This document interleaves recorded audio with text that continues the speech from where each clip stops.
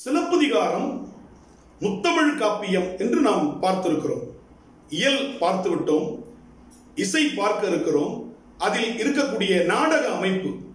ஒவ்வொரு அந்த காணல் வரியில் அவர் சொல்லும் பொழுது இசையாசிரியர் இலக்கணம் நட்டுவாங்கனார் என்று சொல்லக்கூடிய அவருடைய இலக்கணம் ஒரு பரதநாட்டியத்தினுடைய இலக்கணம். இதெல்லாம் இசை தெரியாமல் சிலப்பதிகாரத்தை நம்ம அந்த பகுதிகளை ரசிக்க முடியாது சுவைக்க முடியாது. மிக அற்புதமான பகுதிகள். பிற்கால பன்னிசை மரபுகளுக்கெல்லாம் சாதாரண விஷயம் இல்லைங்க. நூற்றி மூன்று பண்கள் தமிழில் இருந்தது என்பது உரையாசிரியர்கள் நமக்கு சிலப்பதிகார உரையாசிரியர்கள் தான் நமக்கு கொடுத்துருக்குறாங்க. நூத்தி மூணு பண் இன்னைக்கு போச்சு. அந்த பண்கள் எல்லாம் தொலைந்து போய்விட்டன. அந்த பண்கள் எல்லாம் கர்நாடக இசை ராகங்களாக பெயர் மாற்றம் பெற்றுவிட்டன. எப்படி நமக்கு அருவி என்ற ஒரு சொல் இருக்கும் பொழுது வாட்டர் ஃபால்ஸ் என்பதை நீர்வீழ்ச்சி என்று பேச தொடங்கிய பின் அருவி என்ற சொல்லாட்சி கொஞ்சம் கொஞ்சமாக குறைந்து தேய்ந்து ஒழிந்து வருகிறதோ? இன்று நீர்வீழ்ச்சி எழுத தொடங்கிட்டோம். அது என்ன தப்புன்னு சொல்லலை. ஆனால் அருவி என்ற சொல் அதனுடைய உபயோகம் குறைஞ்சு போச்சு பார்த்தீங்களா? அதுபோல தமிழில் இருக்கக்கூடிய நட்டவாடைப்பன் பழந்தக்க ராகம் தக்கேசி அந்தாளி குறிஞ்சி குறிஞ்சி கொல்லி கொல்லி கவ்வானம் வியந்தை காந்தாரம் காந்தாரம் இப்படியெல்லாம் தமிழ்ல பண்கள் இருக்கின்றன. ஆனால் அந்த பெயர்கள் கொஞ்சம் கொஞ்சமாக கர்நாடக இசை பெயரில் வழங்கப்பட தொடங்க அந்த காலகட்டத்தில் தமிழ் பண்களுடைய பெயர்கள் நமக்கு கொஞ்சம் கொஞ்சமாக மறைய தொடங்குகின்றன என்பதை நாம் புரிந்து கொள்ள வேண்டும். இதை சிலப்பதிகாரம் தான் சங்க காலத்தில் இருந்த பன்னிசை மரபை நமக்கு மீட்டுருவாக்கம் செய்து கொடுக்கிறது. உரையிடையிட்ட பாட்டுடை செய்யுளாக காப்பியத்தை படைத்து காட்டுகிறார் இளங்கோவடிகள். அதற்காக இசைக்காகவே பெரும் பகுதியை சிலப்பதிகாரத்தில் செலவிட்டு மகிழ்ந்தவர் நம்முடைய இளங்கோவடிகள். கதை அமைப்பு காப்பி அமைப்பு நெஞ்சை அள்ளுவதை காட்டிலும் அதனுடைய இசை அமைப்பு தான் உண்மையில் நெஞ்சை அள்ளுகிறது. இசையை நடுவாக வைத்து அழகு பார்த்தவர்கள் நம்முடைய தமிழர்கள். இயலுக்கும் அது சந்தமாக தேவைப்படுகிறது நாடகத்திற்கும் அது பாடலாக தேவைப்படுகிறது. எனவே நடுவில் இசையை வைத்து மகிழ்ந்தார்கள். இரண்டாவதாக இசை இல்லை. வரிசை முறையில் இயல் தமிழ் இரண்டாவது இசை தமிழ் மூன்றாவது அப்படி அல்ல. இப்படி வரிசை முறை படுக்கை வசத்தில் வச வர வரிசை முறை நெட்டு நெட்டு வசதிகள் கிடையாதுங்க.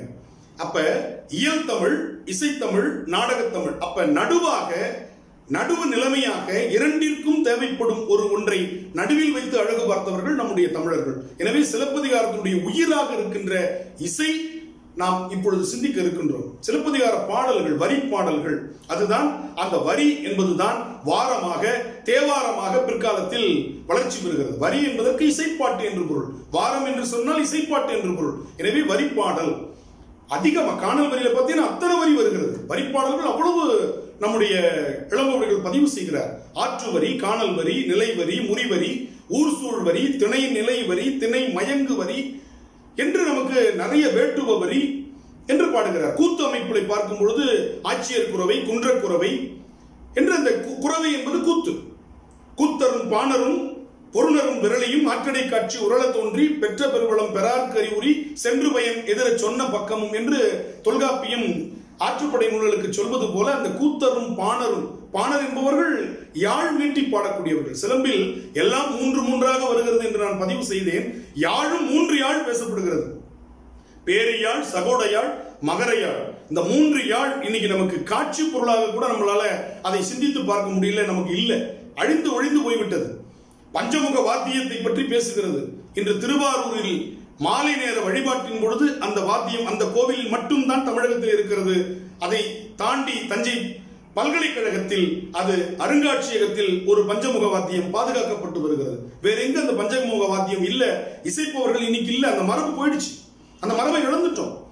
இன்னைக்கு அந்த பஞ்சமுக வாத்தியம் என்பதுதான் ட்ரம்ஸ் என்று சொல்லக்கூடிய மேலை நாட்டு இசைக்கருவியாக மாறி இருக்கிறது நம்முடைய யாழ் அதுதான் வீணையாகவும் வயலின் என்று சொல்லக்கூடிய இசைக்கருவியாகவும் பின்னால் வந்த கம்பி கருவிகள் அத்தனைக்கும் தலைமையாக இருக்கக்கூடிய யாழ் இசை கருவிதான் குழல். அதுதான் இன்று பின்னால் நாதஸ்வரமாக பல்வேறு சாக்சபோன் சொல்லக்கூடிய காற்று இசை கருவிகளாக நமக்கு பரிணாம வளர்ச்சி அடைந்திருக்கிறது. அடிப்படையில் யாழும் குழலும். அதனால் தான் திருவள்ளுவர் குழலினிது யாழினிது என்ப தம் மக்கள் மழலை சொல் கேளாதவர் என்று இனிமையான சொற்களுக்கு குழலையும் யாழையும் நமக்கு அற்புதமாக படைத்து காட்டுகிறார். யாழினி என்று பெயர் வைப்பதை நம்முடைய மரபில் பார்த்திருக்கிறோம். அப்படி தமிழருடைய வாழ்க்கையோடு சிறிய யாழ் வைத்திருப்பவன் சிறுபாணன் பேரியாழ் வைத்திருப்பவன் பெரும்பானன் என்று சிறுபானாற்றுப்படை பெரும்பானாற்றுப்படைக்கு அழகான இலக்கத்தை இலக்கணத்தை காட்டுவது நம்முடைய இலக்கணம். எனவே யாழ் என்பது தமிழருடைய மிக அற்புதமான ஒரு இசைக்கருவி. அதே போல தோல் கருவியாக இருக்கக்கூடிய பறை இசை கருவி தமிழர்களுடைய அற்புதமான அதுக்கு பின்னால் வந்திருக்கக்கூடிய தவில் இசை மிருதங்க இசை தபேலா என்று சொல்லக்கூடிய இசை இந்த இசை மரபுகளுக்கெல்லாம் ஆதி இசையாக தமிழர்களுடைய அற்புதமான முதல் இசை கருவியாக விளங்குவது பறை இசை கருவி. இந்த பறையை பற்றி சிலப்பதிகாரம் பதிவு செய்கிறது. எனவே நாம் வேர்களை இழந்து விட்டு விழுதுகளை பார்த்து வியந்து கொண்டிருக்கிறோம். வேர்கள் யாழ் குழல் பறை இது மூன்றும் இசைக்கருவிகள் அத்தனைக்கும் வேர்களாக இருப்பவை என்பதை சிலம்புதான் பதிவு செய்கிறது. எனவே அந்த பண்ணிசையை பற்றி சிலப்பதிகாரத்தில் பண்ணும் திறமும் செயலும் பாணியும் ஒரு நெறியாக மயங்கச் சொல்லப்பட்ட எட்டன் இயல்பு ஆறன் இயல்பு என்று அதற்கு அரும்பத உரையாசிரியர் அந்த பண்ணுக்கு விளக்கம் தருகிறார் வரிப்பாடலுக்கு விளக்கம் தருகிறார். வரிப்பாடல்னா என்ன தெரியுமா? பண்ணும் திறமும் செயலும் பாணியும் ஒரு நெறியால் மயங்கச் சொல்லப்பட்ட எட்டன் இயல்பும் ஆறன் இயல்பும். இந்த எட்டன் இயல்பு ஆறன் ஆதி தாளம் ஆதிதாளம் ரூபக தாளம் என்று பிற்காலத்தில் கர்நாடக இசையில் வந்திருக்கிறது என்பது எத்தனை பேருக்கு தெரியும்? ஆறன் இயல்பு என்பது ரூபக தாளம் எட்டன் இயல்பு என்பது சதுஸ்ர ஜாதி திருவுடை தாளம் என்று தாள வரிசையில் என்று நமக்கு குறிப்பிடுகிறார்கள். ஏழு தாளங்கள் உண்டு. துருவ தாளம் அட்டிய தாளம் அடதாளம் ஜம்பை தாளம் ரூபக தாளம் திரிபுடை தாளம் ஏக தாளம் என்று ஏழு தாளங்களை ஐந்து வகைகளாக திஸ்ர நடை சதுஸ்ர நடை கண்ட நடை மிஸ்ர நடை சங்கீர்ண நடை என்று சொல்லி ஏழு தாளங்கள் பெருக்கல் ஐந்து வகைகளாக முப்பத்தைந்து தாளங்களாக விரிவடைகின்றன என்று கர்நாடக இசை சங்கீதத்தில் பாலபாடத்தில் படித்த நினைவு எனக்கு.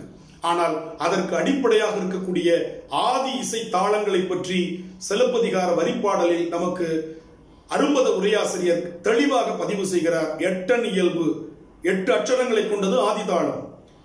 ஆறன் இயல்பு ஆறு அச்சரங்களை கொண்டது ரூபக தாளம் இந்த அற்புதமான இந்த ரெண்டு பதிவுகள் தாளத்தை பற்றிய பதிவுகள் வரிப்பாடலில் இடம்பெறுகின்றன. இந்த வடிப்பாடலை நாம் எடுத்துக்கொண்டு பார்க்கும் பொழுது இசைக்கு அளவு கிடையாது. அழக அதை தொல்காப்பியம் பதிவு செய்கிறது. என்ன சொல்றாரு? நெட்டிசை என்று சொல்லக்கூடிய நீளமான நெடில் எழுத்துக்களை இரண்டு மாத்திரை அளவில் குறுக்க வேண்டியதில்லை. இசைக்கு மாத்திரை அளவே கிடையாது. ரொம்ப அழகா சொல்றார். அந்த இசையின் மறைய என்று யாழின் மறை அழகா நரம்பிசை கருவிகள்ல வாசிக்கும் பொழுது அளவெல்லாம் சொல்ல முடியாது. ஒற்றிசை நீடலும். அந்த பாட்டுல ரொம்ப தொல்காப்பியர் பதிவு செய்கின்றார். இசையில் நாம வந்து மாத்திரை அளவில் பார்க்க வேண்டியதில்லை. நரம்பின் மறைய. அளவிருந்து உயிர்த்தலும் ஒற்றிசை நீடலும் உலை என மொழிப இசை இசையோடு சிவனிய நரம்பின் மறைய தொல்காப்பியர் நூற்பா. எப்போ படிச்சது? அப்படி பேசிட்டு இருக்கும்போது தொல்காப்பியர் நினைவுபடுத்திட்டார் அழகா. அப்ப இசையோடு சிவனிய சிவனியன பொருந்திய இசையோடு பொருந்தும் பொழுது இலக்கணத்தெல்லாம் பார்த்துட்டு இருக்காது மாத்திர அளவெல்லாம் பார்த்துட்டு இருக்காது நெட்டிசை. அப்ப காவிரி போற்றுதும் காவிரி போற்றுதும் என்று சொன்ன சிலப்பதிகார இளங்கோவடிகள் இசைக்கு வரும்பொழுது காவிரி என்றால் அந்த இடத்தில் இசை நிறைவு இருக்காது. எனவே காவேரி என்று மாற்றுகிறார். ரெண்டுத்துக்கும் சொல் வேறு வேறு சொற்கள் பொருள் ஒன்று. அது ஆற்றை தான் குறிக்கின்றன. ஆனால் அந்த ரெண்டு சொற்கள்ல காவிரி என்பது உரையிடையிட்ட பாட்டுடை செய்யுளில் உரையாக காப்பியத்தில் வரும் பொழுது காவிரி போற்றுதும் காவிரி போற்றுதும் என்பது சிலப்பதிகாரத்தில் வாழ்த்துக்காதி அதே காணல் விரியில் க- வரும் பொழுது காணல் வரிப்பாடலாக இசைப்பாடலாக வரும் பொழுது காவேரி என்று அதை காவும் நெடிலாக வே என்று வி என்பதை வே என்று காவேரி என்று பாடுகிறார். அருமையான ஒரு பாடல் காணல் வரியில் வரக்கூடிய ஒரு பாடல். திங்கள் மாலை வெண்குடையான் சென்னி செங்கோலது போச்சி கங்கை தன்னை புணர்ந்தாலும் புலவாய் வாழி காவேரி கங்கை தன்னை புணர்ந்தாலும் புலவாதொழிதல் கயற்கண்ணாய் மங்கை மாதர் பெருங்கற்பென்று அறிந்தேன் வாழி காவேரி அறிந்தேன் வாழி காவேரி. அங்க அறிந்தேன் வாழி காவிரி அப்படி சொன்னாங்க இசை தடுமாறும். அதை பாட்டா பாடினதும் புரியும். நடந்தாய் வாழி காவிரி அப்படின்னு சொல்லி பாருங்க சொல்லவே முடியாது. அப்ப இசைக்காக என்ன பண்றார்? அறிந்தேன் வாழி காவேரி. காவிரின்னு சொல்லவே முடியாது. அப்ப காவிரி என்பது காப்பியத்துக்கு எடுத்துக்கொண்டாலும் இசை என்று வரும் பொழுது அந்த மரபுக்கேற்றவாறு சொல்லை நெட்டோசையில் அமைக்கின்றார். இசையில் ரொம்ப மிக முக்கியமானது. அதே போல முறிவரி முறித்து பாடுவது. எடுத்த இயலும் இசையும் தம்மில் முறித்து பாடுவது முறியெனப்படுமே அரும்பது உரையாசிரியர் குறிப்பிடுகிறார். முறிவரினா என்ன? எடுத்த இசையும் சொல்லும் தம்மில் முறித்து பாடுதல். அப்ப முறித்து பாடுதல் அதை வாசிக்கிறது ரொம்ப நமக்கு கடுமையானது. திரை விரி தருதுரையே திருமணல் விரியிடமே. விரைவிரி நறுமலரே மிடைதரு பொழிலிடமே. மறுவிரி புரிகுழலே மதிபுரை திருமுகமே. இருகையல் இணைவிழியே இணையிடர் செய்தவையே. தனதன தனதன தன அப்படி நம்ம எளிமையா இதற்கு சந்தத்தை போட்டுற முடியாது. ஏன்னா ஒன்றை ஒன்று முறித்து வரும். என்ன சொல்ற எடுத்த இயலும் இசையும் இயலும் முறியும் இசையும் முறியும். இதுக்கு பேர் முறிவரி. பின்னாளில் யாழ் முறி என்ற ஒரு பண்ணாக இது காரண பெயராகவே அமைந்தது. நடை உடை மலை மகள் துணை என மகிழ்வர். ஞானசம்பந்தர் யாழ்முறியில பாடுற மாத மடப்பிடியும் மடகன்னம் அன்னதோர் நடையுடை மலை மகள் நடையுடை மலை மகள் நடையுடை மலை மகள் நடையுடை மலை மகள். ஆ நடையுடை மலை மகள் நடையுடை மலை மகள் துணை என்ன மகிழ்வர்? இதை யாழ்ல வாசிக்க முடியாம அப்படியே முறிக்கப்பட்டாதான் திருநிலகண்ட யாழ்ப்பாணர் அதனால இந்த பண்ணுக்கு யாழ் முறிப்பண் என்று அதை குறிப்பிடுவார்கள். ஆனால் அந்த காரண பெயரை காட்டிலும் சிலப்பதிகாரத்தில் முறிவரி என்பது இதற்கு பொருத்தமாக இருக்கும். அந்த முறிவரி பாடல் சிலப்பதிகாரத்தில் ரொம்ப அழகா இருக்கும். அதுபோல பார்த்தீங்கன்னா அந்த அம்மானை பெண்கள் விளையாடுகின்ற ஒரு விளையாட்டு. பிற்காலத்தில் பெண்பார் பிள்ளை தமிழில் ஒரு பருவமாக காப்பு செங்கீரை தாள முத்த பருவம் அம்புலி பருவம். அதில் ஏழு பருவங்கள் ரெண்டு பேருக்கு ஒன்றா இருக்கும் வருகை பருவம் வரையும். ஆனால் எட்டு ஒன்பது பத்து ஆண்பார் பிள்ளை தமிழுக்கும் பெண்பார் பிள்ளை தமிழுக்கும் மாறும். அதில் அம்மானை ஊசல் கழங்கு. மூன்று பருவங்கள் பெண்பார் பிள்ளை தமிழுக்கு வரக்கூடிய பருவங்கள். அப்ப இந்த அம்மானை என்பது பாடிக்கொண்டே அவர்கள் அந்த கற்களை எரிந்து விளையாடுவார்கள். ஐந்து கற்களை எரிந்து விளையாடுவார்கள். அப்பொழுது கல்லிலும் கவனம் இருக்கும் கேட்கக்கூடிய கேள்வியிலும் கவனம் இருக்கும் அந்த பெண்ணுக்கு. பதில் சொல்லிக்கொண்டே அவள் பாடிக்கொண்டே விளையாடுகின்ற ஒரு பெண்கள் விளையாட்டு. அது பார்த்தீங்கன்னா இசையோடு வரும் பொழுது அதற்கு அம்மானை என்று இசைப்பாட்டுல ரொம்ப முக்கியம். அந்த அம்மானை பாட்டு பாருங்க. திங்கு நீ வேலி உலகாண்டு விண்ணவர்கோன் ஓங்கரணம் காத்த உறவோன் யாரம் மானாய்? இது கேள்வி. கேள்வி பதில் வரணும் அது விங்கு நீர் வேலியுலகாண்டு விண்ணவர்கோன். ஓங்கரணம் காத்த உறவோன் யாரம் மானை? இப்ப பதில் சொல்ற விளையாடிக்கிட்டே. ஓங்கரணம் காத்த உறவோன் ஊய விசும்பில் தூங்கையில் மூன்றெறிந்த சோழன் காணம் மானாய்.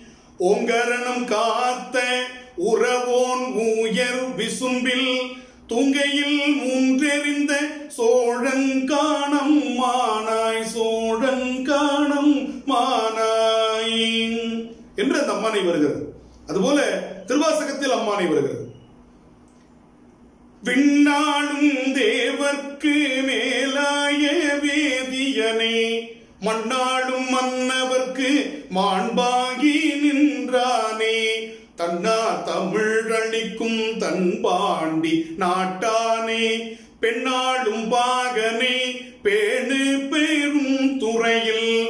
கண்ணார் கடல் காட்டி நாயேனை ஆட்கொண்ட அண்ணாமலை யானை பாடுதும் காணம் மானாய். அதே அம்மானை அதே நடை.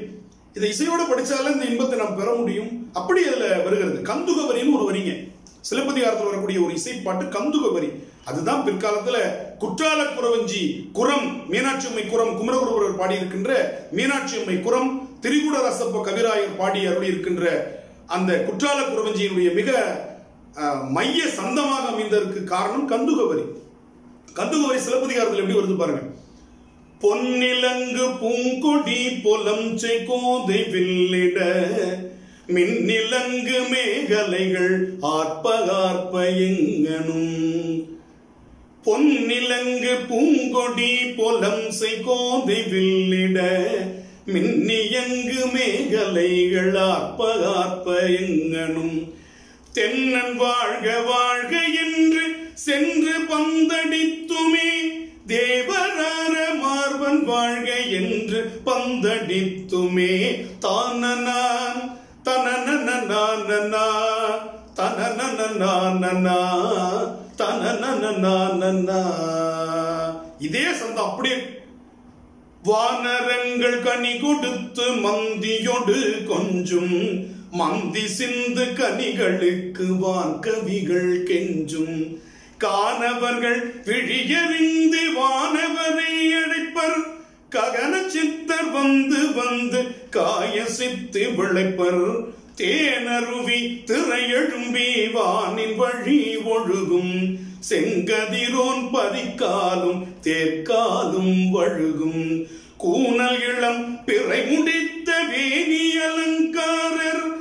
குற்றால மலை எங்கள் மலையே தானனா தனனனா தனனனா தனனனா சிலப்பதிகாரம்.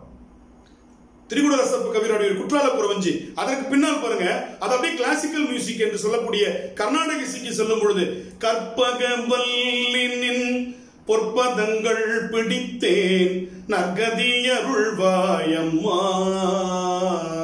தானனா அதே சந்தம். அப்படியே திரையிசைக்கு போகுது.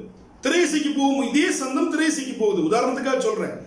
கொஞ்ச நாள் பொறு தலைவா ஒரு வஞ்சி கொடி இங்கு வருவாள் கண்ணிரண்டில் போர் தொடுப்பாள். அதே சந்தம். முழுமையா பண்ண அர்த்தம் வேற. என்னுடைய போக்கு மாறிப்படுங்கிறதுனால அஞ்சு நான் பாதியோடு நிறுத்திக் கொள்றேன். அப்ப அந்த சந்தத்தை பாருங்க. சிலப்பதிகாரம் தொடங்கி வைத்த கந்துக வரிதான் கொஞ்ச நாள் ஒரு தலைவா என்கின்ற திரையிசை பாடலாக வந்திருக்கிறது வளர்ந்திருக்கிறதுன்னு எத்தனை தமிழர்கள் தெரிந்து கொண்டிருக்கிறோம் புரிந்து கொண்டிருக்கிறோம்? அந்த கந்துக வரி அப்படின்ற சொல்லே எனக்கு தெரியாதே. அதுக்கு இன்னைக்கு ஆனந்த பைரவி என்ற ராகத்தை சொல்லிட்டாங்க. ரொம்ப எளிமையா இது ஆனந்த பைரவி அப்படின்னு சொல்லிட்டாங்க. இந்த பண்ணுல இருக்கு சாளரபாணின்னு பேரு. சாதாரணமாக மலையில் இருக்கக்கூடிய எளிய மக்கள் எளிமையாக பாடிய ஒரு சந்தம் இந்த கந்துகோவரி சந்தம். குரத்தில் குரத்தி பாடிக்கொண்டு வருகின்ற சந்தம் குறி சொல்வதாக பாடிக்கொண்டு வருகின்ற சந்தம் மலை வளத்தை சொல்லுகிற சந்தம். இந்த சந்தம் எத்தனை நூற்றாண்டுகளை கடந்து பயணித்து இன்று திரையில் அது கோலோச்சு கொண்டிருக்கிறது. ஆனால் விழுதை பார்த்து நாம் வியக்கின்றோம்.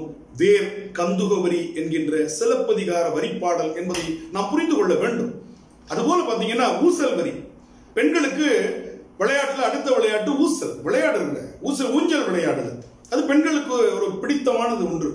ஆண்கள் வெளியில் சுற்றி திரிவார்கள் பெண்கள் வெளியில் வந்தால் ஊஞ்சல் கட்டி விளையாடுவது அவர்களுக்கு ஒரு மகிழ்ச்சியான ஒரு விளையாட்டு. நீராடுதல் குளித்தல் வேறு நீராடுதல் வேறு. குளிச்ச குளிக்கிறதுங்கிறது குளிர்வித்தல் உடம்பு குளிர்விக்கிறதுக்காக செய்யறது.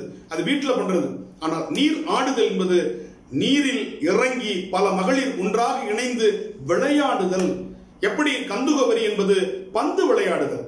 வசந்தவல்லி பந்து விளையாடுகின்ற அழகை குற்றாலக்குறவஞ்சி நமக்கு படம் பிடித்து காட்டும். அதுபோல இங்கே அவர்கள் பந்து விளையாடுகிறார்கள். அந்த பந்து விளையாடுற விளையாட்டு கந்துகவரி. நீரில் இறங்கி விளையாடுகிற விளையாட்டு ஊசல் விளையாட்டிற்கு முன்னால் நீராடல் என்கின்ற விளையாட்டு.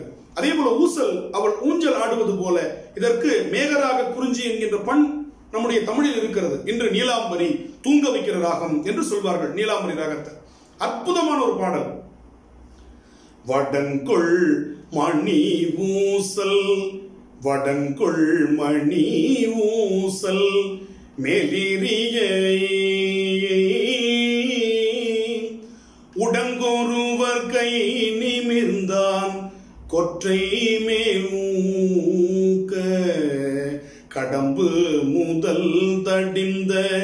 கடம்பு முதல் தடிந்த காவலனை பாடி குடங்கை நெடுங்கண் பிறழ ஆடாமூசல் கொடுவேர் பொறி வாடி ஆடாமூசல் தானா தன தானாம் தானா தன தானா தனனா தன தானா குறிஞ்சி. சீரார் பவளங்கால் சீரார் பவளங்கால் முத்தம் கயிறாக ஏறாரும் பொற்பலகை ஏறி இனிதமர்ந்து நாராயணன் அரியா கல்யா திருவாசகத்தில் வரக்கூடிய ஊசல். லக்ஷ்மி கல்யாண வைபோகமே. சீதா கல்யாண வைபோகமே. வடமொழிக்கு போயிடுச்சு. நம்மளுடைய ஊசல் வரி சிலப்பதிகாரம் தமிழில் பதிவு செய்த ஊசல் வரி லக்ஷ்மி கல்யாண வைபோகமே சீதா கல்யாண வைபோகமே என்று திருமணங்களில் மணப்பெண்ணையும் மணமகனையும் வைத்து ஊஞ்சல் ஆட்டுகின்ற பொழுது பாடுகிற ஒரு பாடலாக இன்று அவர்கள் கொண்டாடி கொண்டிருக்கிறார்கள். நாம் தமிழர்கள் இழந்து விட்டோம். ஏன் சிலப்பதிகாரத்தை படிக்கல? முத்தமிழ் காப்பியம் முதன்மை காப்பியம் அப்படின்னு நம் நெஞ்ச நிமிர்த்தி அதை நாம் பேசிக் கொண்டிருக்கிறோம். ஆனால் அதை பயன்பாட்டிற்குள் படிப்பதற்குள் வாசகர் வட்டத்திற்குள் நாம் கொண்டு வந்திருக்கின்றோமா? பிற்கால இலக்கியங்கள் வேண்டாம் என்று சொல்வதற்காக இந்த செய்தியை நான் பதிவு செய்யவில்லை. நம்முடைய மரபு. ஏன்னா பொங்கல் புதுசா இருக்கலாம். உப்பு பழசு மறந்துடக்கூடாது. ஆனால் பொங்கல் சுவையாக இருப்பதற்கு பழமையான உப்பு தான் காரணம் என்பதை நாம் புரிந்து கொள்ள வேண்டும். எனவே இந்த புத்து இலக்கியங்கள் புது கவிதைகள் புதுமையான இலக்கிய வடிவங்கள் சுவை ஊட்ட வேண்டும் என்று சொன்னால் நம்முடைய மரபு என்கின்ற உப்பும் நம்முடைய மரபு என்கின்ற வெல்லமும் அதில் இனிப்பு சுவையையும் உப்பு சுவையும் தர வேண்டும். அப்பதான் அந்த சர்க்கரை பொங்கல் அந்த வெண்பொங்கல் நமக்கு சுவையா இருக்கும். எனவே அந்த பழமையை நாம் போற்றுவது புதுமையை ஏற்பது. எனவே பழைய கழிதலும் என்றால் எல்லா பழசையும் தொலைச்சிட்டோம் நம்ம. மரபை தொலைச்சிட்டோம். இன்னைக்கு ஜல்லிக்கட்டு மரபு கொடுங் கொடுங்க காளை அப்படின்னு ஒரு பாப்பா கொல்லேற்றின் கோடு அஞ்சுவானை. முல்லைப்பாட்டு பதிவு செய்கிறது. கொல்லேற்றின் கோடு அஞ்சுவானை மறுமையும் புல்லாளே ஆயர் மகள். ஜல்லிக்கட்டை பத்தி அன்னைக்கு வருது. எவன் மாட்டினுடைய கொம்பை பார்த்து காளையினுடைய கொம்பை பார்த்து அஞ்சுகிறானோ அவன் அடுத்த பிறவியில கூட திருமணம் பண்ணிக்கணும்னு நினைக்க மாட்டாளா? ஒரு தமிழ் பெண் என்று பதிவு செய்கிறது. கொல்லேற்று கோடு அஞ்சுவானை மறுமையும் புல்லா மறுமையினா மறுபிறப்புல கூட புல்லாள். அவனை சேரமாட்டா? யாரு? ஆயர் மகள் என்று முனைப்பாட்டு நமக்கு சொல்லுகிறது. அப்ப இந்த மரபுகளை நாம் நினைவுபடுத்திக் கொள்வது எதற்காக என்றால் புதுமையிலும் மரபு என்பது அடித்தளமாக இருந்து கட்டமைக்கப்பட வேண்டும். அதை விட்டுடக்கூடாது. சிலப்பதிகாரம் நமக்கு அதுபோல அந்த காலத்துல உலக்கை இடுகின்ற சந்தம். உலக்கையில் அவர்கள் நெல்லை குத்தி அரிசியாக்கி அது தவிடு வேறு அரிசி வேறு பிரித்தெடுக்கின்ற நெல்லும் பொடிபடாமல். அந்த உலக்கையில நிறைய வகைகள் இருக்கு. அவங்க அரிசி இடிக்கிறதுக்கு ஒரு உலக்கை பயன்படுத்துவாங்க. அதே அரிசியை இட்டு இடிக்கும் பொழுது மாவாக்குறதுக்கு ஒரு உலக்கு இருக்கு. அந்த உலக்கை போடுற அந்த தொனி இருக்கு பாருங்க. அந்த அது ஒரு பெரிய தனி திறமை. அழுத்தி போட்டோம்னா மாவாப்படும் ரொம்ப லேட் ரொம்ப மெதுவா அடிச்சோம்னா அது பிரியாது. அப்ப அந்த பாடல் அவர்கள் பாடிக்கொண்டே. ஏன்னா வாலி ஒரு கவிதையில சொல்லுவார் பாட்டுக்காக பொழப்ப நடத்தல பொழப்புக்காக பாட்ட பாடல பாட்டோட பொழப்பும் நடக்குதுன்னு அது மாதிரி தமிழருடைய இசை மரபு என்பது வெட்டியா உட்கார்ந்து கச்சேரி செய்வது அல்ல. ஒருத்தன் பாடிட்டு இருக்கிறது ஆயிரம் பேர் உட்கார்ந்து சும்மா கேட்டுட்டு இருக்கிற மரபு தமிழிசை மரபு அல்ல. அது வேலையோடு சேர்ந்த மரபு. இங்க வேலை செய்யறவனுக்கு தான் மரியாதை. ஒரு கிராமத்து பழமொழி சொல்லுவாங்க மழை வருது மழை வருது நெல் அள்ளுங்க. முக்காப்பொடி அரிசி போட்டு முறுக்கு சுடுங்க. ஏர் ஓட்டும் மாமனுக்கு எண்ணி வையுங்க சும்மா தூங்கும் மாமனுக்கு சூடு வையுங்க அப்ப ஏர் ஓட்டுற உழைப்பாளிகளுக்கு தான் முதல் உரிமை முதல் மரியாதை தரப்பட வேண்டும் என்று ஒரு எளிய மணி மனிதனுடைய பழமொழி. நம்ம இன்னைக்கு இதெல்லாம் விட்டுட்டோம். சும்மா இருக்கிறவன் சோம்பேறியா இருக்கிறவன் நல்லா இருக்கிறான். விவசாயியும் உழைப்பாளியும் வருத்தப்பட்டு கொண்டிருக்கிறான். தன்னுடைய விளைபொருளை விற்க முடியாமல் அவன் விக்கித்து நிற்கிறான். ஆனா சோம்பேறிகளுக்கான ஒரு உலகமாக பயனாளர்களுக்குரிய உயர் உல உலகமாக அதி நுகர்வு கலாச்சாரத்திற்கு தள்ளப்பட்டவர்களுக்கான உலகமாக இந்த உலகத்தை நாம் பார்க்கிறோம். ஆனால் நம்முடைய சிலப்பதிகாரத்தை பாருங்க குடிமக்கள் காப்பியம். ஒவ்வொரு தனி மனித உரிமையை தனி மனித கடமையை நமக்கு சுட்டுகிற காப்பியம். ஒரு இசை எதற்கு? அவனுடைய வேலையினுடைய வலிவருத்தம் அவனுக்கு அதிக பணிச்சுமையை தந்துவிடக்கூடாது எனவே அவனுடைய மனநிலையை மகிழ்ச்சியாக மாற்றி அந்த வேலை செய்யும் இடத்தை மகிழ்ச்சியாக மாற்றுவதற்கு இசை வந்தது. இசை சாதாரணமானதில்லை. பிறப்பு முதல் இறப்பு வரை தாலாட்டு முதல் ஒப்பாரி வரை ஒரு மனிதன் இசையோடு பயணித்துக் கொண்டிருக்கிறான். இசை இல்லாமல் எதுவுமே இல்லை. எந்த இலக்கியம் நீங்க இயல் சொன்னா கூட பாடியவர் தான் சொல்றோம் எழுதியவர்னு சொல்றது இல்லை பாடிய புலவன் பாடப்பட்டவன் என்றுதான் சொல்றோம். எழுதுனவங்க இந்த எழுதுல எழுத்துல எந்த அரசனை பற்றி சொல்கிறது கிடையாது. பாடியவர் பாடப்பட்டவர். அப்ப இசை என்பது இயலாக இருந்தாலும் நாடமாக நாடகமாக இருந்தாலும் மிக முக்கியமான பங்களிப்பை செய்கிறது. இந்த உலக்கை. அந்த உலக்கை சந்தத்தில் நம்முடைய சிலப்பதிகாரத்தில் பாடல். ரொம்ப அழகா. பவள உலக்கை கையால் பற்றி தவள முத்தம் குருவாள் செங்கன் தவள முத்தம் குருவாள் செங்கன் குவளையல்ல கொடிய கொடிய. அந்த உலக்கையை கையில் எடுத்துக்கிட்டு பவள உலக்கை பவள உலக்கை. அப்ப பவள தூக்குறது உலக்கை இடிக்கிறது. பவள உலக்கை கையால் பற்றி தவள முத்தம் குருவாள் செங்கன் தவள முத்தம் குருவாள் செங்கன். குவளை அல்ல கொடிய கொடிய. அரிசி வேற நெல் வேற இது உமி வேற பிரிஞ்சிருச்சுன்னு அர்த்தம். அது ரெண்டு வார்த்தை. குவளை அல்ல கொடிய கொடிய. புன்னை நீழல் புலவு திரைவாய் அன்னம் நடப்ப நடப்பாய் செங்கன் அன்னம் நடப்ப நடப்பாள் செங்கன். கொன்ன ஐய வெய்ய கூற்றம் கூற்றம். கொன்னே வெய்ய கூற்றம் கூற்றம் சொல்லும் பொழுது அந்த இந்த சந்தம் உறங்குகின்ற கும்ப கர்ண உங்கள் மாய வாழ்வெல்லாம் இறங்குகின்றதென்று க- எழுந்திர எழுந்திரை கரங்கு போல வில் பிடித்த கால தூத கையில் உறங்குவாய் உறங்குவாய் இனிக்கிடம் கிடந்துறங்குவாய் அந்த உலக்கை சந்தம் கம்பனுக்கு பன்னெண்டாம் நூற்றாண்டுல யார் கொடுத்தது? நம்முடைய சிலப்பதிகார மரபு இரண்டாம் நூற்றாண்டில் சங்கம் மருவிய கால இலக்கியமாக இருக்கக்கூடிய சிலப்பதிகாரம் கொடுத்த சந்தம் முடுகியல் வண்ணம் ஒழுகியல் வண்ணம் இருபது வண்ணங்களை தொல்காப்பியர் சொல்றார். பதினைந்துக்கும் மேற்பட்ட வண்ணங்களை நம்முடைய சிலப்பதிகாரம் நமக்கு உதாரண பாடல்களாக பதிவு செய்து வைத்திருக்கிறது. எனவே ஒரு பாடலை ஒரு இசை மரபை தமிழருடைய வாழ்வியல் விழுமியத்தை ஒரு அரசியல் எப்படி நடைபெற வேண்டும் ஒரு நீதி எப்படி நிலைநாட்டப்பட வேண்டும்? வழக்குரை கதையை படித்தோம்னா அப்படி இருக்கும். அந்த நீதி. அந்த நீதி எப்படி நிலைநாட்டப்பட வேண்டும்? அந்த நீதி தவறும் பொழுது ஏற்படக்கூடிய பின் விளைவுகள் என்னென்ன? ஒரு நாடு எப்படி இருக்க வேண்டும்? அன்றே இன்னைக்கு நம்ம சொல்றோம் ஈவினிங் மார்க்கெட் அப்படின்னு ஆங்கிலத்தில் சொல்லி பழகட்டும். நாளங்காடி அல்லங்காடி.